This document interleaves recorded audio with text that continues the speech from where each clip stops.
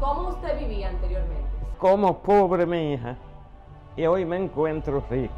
Que antes yo tenía tormento porque era un rancho malo y creía que podían abrirmelo.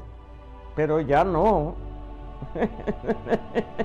yo me siento bien de bien. Muy agradecida estoy de ustedes y de los ayudantes.